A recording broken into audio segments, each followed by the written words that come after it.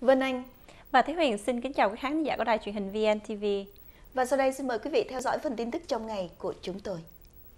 Tin từ Washington, công ty Starbucks cho hay sẽ thuê 10.000 người tị nạn trong 5 năm tới, một phản ứng được coi là đáp trả việc Tổng thống Donald Trump ra lệnh tạm ngưng vô thời hạn việc đón nhận người tị nạn Syria vào Mỹ, cũng như tạm thời ngưng không cho người dân từ bảy quốc gia có đông đảo dân theo Hồi giáo tới Mỹ. Ông Howard Schultz,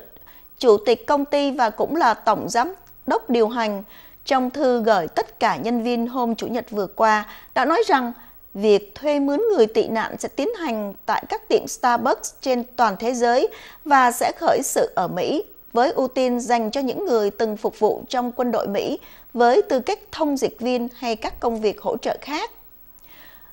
Ông cũng là người ủng hộ cho bà Hillary Clinton trong cuộc tranh cử tổng thống vừa qua.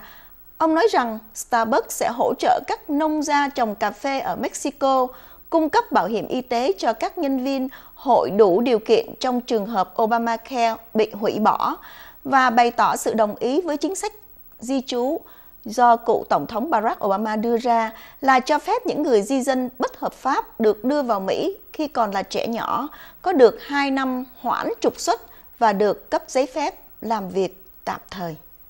Tin từ London, một thỉnh nguyện thư kêu gọi chính phủ Anh hủy bỏ lời mời Tổng thống Mỹ Donald Trump sang thăm vương quốc này có được hơn 1 triệu chữ ký hôm thứ Hai 30 tây tháng Giêng. Tuy nhiên, theo bản tin của hệ thống truyền hình NBC News, chính phủ Anh cho hay sẽ không thay đổi ý định mời ông Trump có chuyến công du như dự trù. Thịnh nguyện thư được đưa ra hôm Chủ nhật cho rằng nên hủy bỏ chuyến viếng thăm vì điều này sẽ làm xấu hổ nữ hoàng Elizabeth đệ nhị.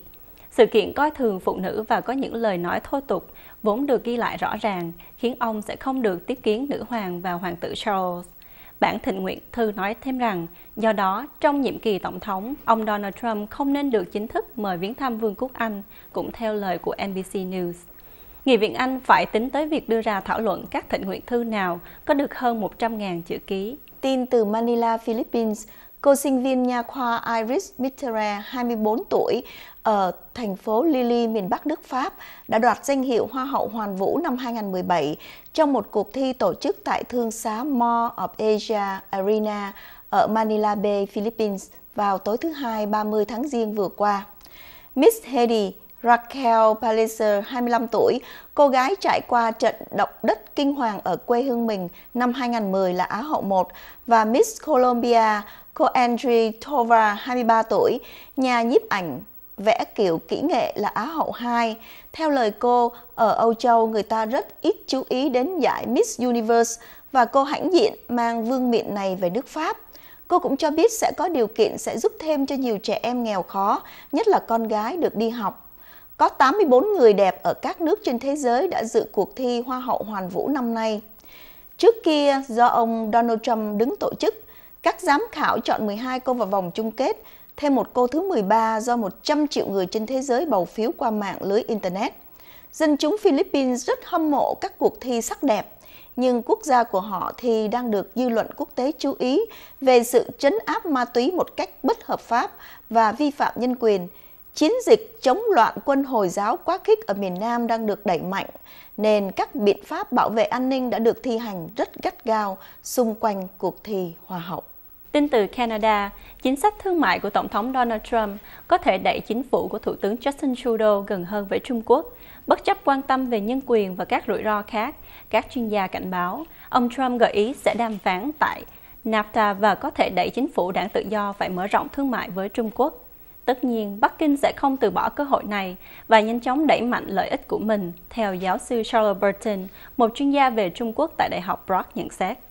Và sự thay đổi nội các bất thình lình trong tuần qua đã chứng kiến cựu Bộ trưởng Di trú John McCollum được bổ nhiệm làm đại sứ Canada tại Trung Quốc. Ông Burton dự đoán rằng ông McCollum có khả năng tập trung vào các sáng kiến thương mại và doanh nghiệp Trung Quốc hơn là các vấn đề về quyền con người. Ông cảnh báo các vấn đề môi trường sử dụng lao động nhập cảng từ Trung Quốc cho các dự án và việc mua lại các công ty Canada dễ dàng hơn đều là những khao khát của Trung Quốc. Tin từ Harvard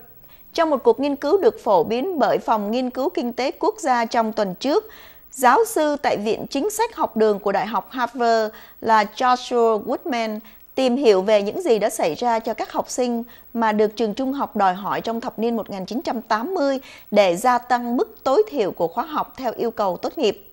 Điều ông khám phá là các sinh viên da đen có phần gia tăng lấy số lớp toán nhiều hơn như là kết quả của thay đổi trong các tiêu chuẩn và điều đó đưa tới thu nhập lương cao hơn. Nói đơn giản, khoảng 15 năm sau khi họ ra trường, các học sinh tốt nghiệp trung học người Mỹ gốc Phi Châu đi học lúc những thay đổi này có hiệu lực đã được chứng kiến mức lương gia tăng khoảng 10% cho mỗi năm học thêm môn toán.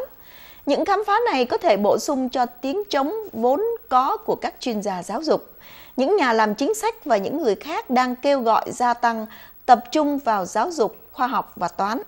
Goodman cho biết rằng việc làm quen và thực hành các năng khiếu toán tương đối căn bản cho phép những học sinh tốt nghiệp trung học theo đuổi và xuất sắc ở việc làm mà đòi hỏi một mức độ kiến thức máy điện toán nào đó.